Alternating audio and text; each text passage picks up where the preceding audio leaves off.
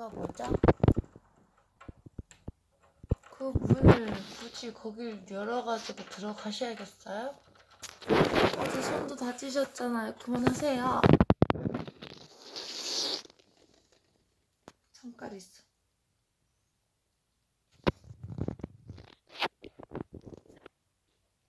집에 가자 이럴 거면 자꾸 말 안 들을 거면 집에 들어가.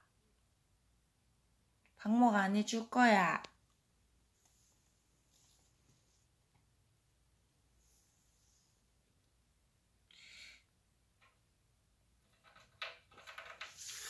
하지 말라고 했지 너. 하지 말라고. 글로 왜 거기 자꾸 집착을 해? 거기